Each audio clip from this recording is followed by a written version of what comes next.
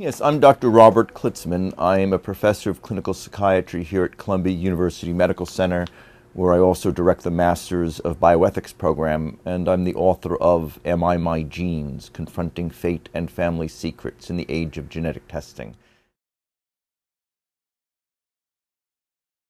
So I should say there are some genetic tests that women will undergo when they're pregnant even before getting pregnant, and then there are uh, other conditions that we test for in adults. Probably uh, breast cancer, the so called BRCA, B R A C A gene, is the most common one looked at.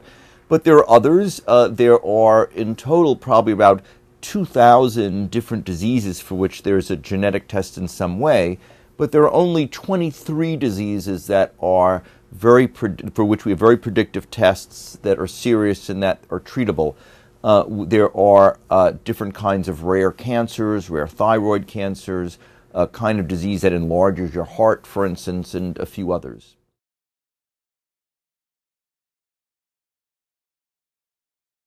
The problem is that the 23andMe for several years has been telling consumers that it is providing medically beneficial information.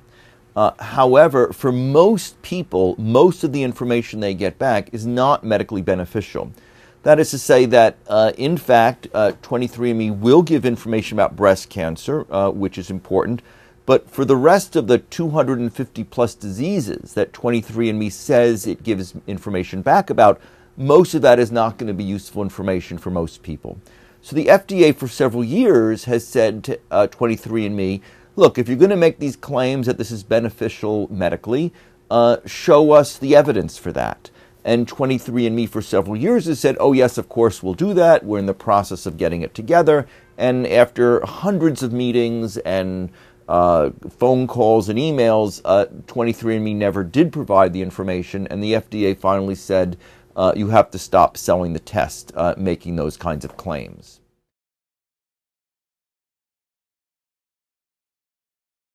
So part of the problem is uh, that genetics is much more complicated, we're finding out, than anyone thought. So 10 years ago was the first time that someone's entire DNA was sequenced or mapped. Uh, and uh, we thought, by the way, that since mice have 20,000 genes, that we as humans would have 100,000 genes. Well, it turns out we have much less. We have not much more than mice or cows or dog, dogs. Uh, but our complete genome, the complete DNA that makes me, me, and makes you, you, consists of chains of three billion molecules that are one of really one of four molecules arranged in a certain sequence that create the genetic blueprint that leads me to have the hair color and eye color that I have, and leads you to have the hair color and eye color that you have, and risks for certain diseases that we each have.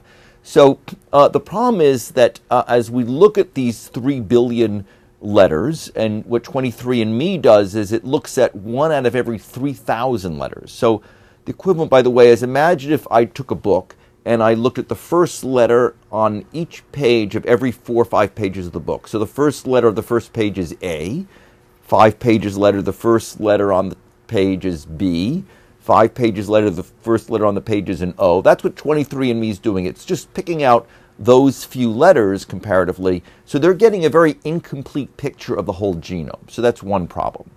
The second, pro- and, and we can now sequence the whole thing. So what 23andMe is doing, it's only looking at one out of every 3,000 bits of information in the, in the genome. So that's a problem. The other problem is that we still don't know enough about genetics to have very predictive tests for most diseases.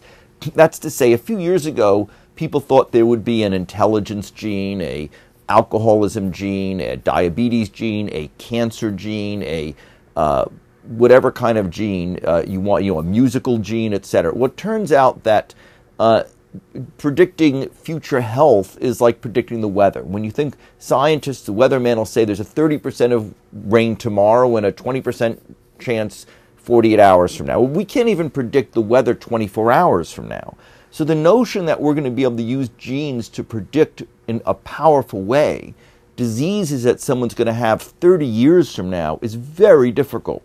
And we're finding that, in fact, many diseases, most diseases, most common diseases, result from a mix of genetics and other things. It's not just your genetics that determine whether you get many cancers, but your diet, exercise, pollution, et cetera, et cetera. And so genetics are turning out to be less predictive than people thought. So one problem is that uh, genetics is, uh, and now I should also say, uh, over time, as we get more people's genomes sequenced, as we get more information, we'll be able to learn more. We'll be able to have more people's genomes to see which are the people that get different kinds of cancers.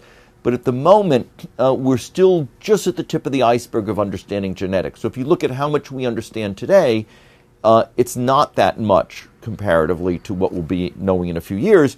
23andMe, however, is saying uh, we're going to give you very beneficial information today about your genome, looking at one out of every 3,000 bits of information, and they're making too big a claim. Now, as I said, for breast cancer and a few other diseases, uh, for few people, there will be helpful information, but for the vast majority of people, there won't be through the product that they're offering now.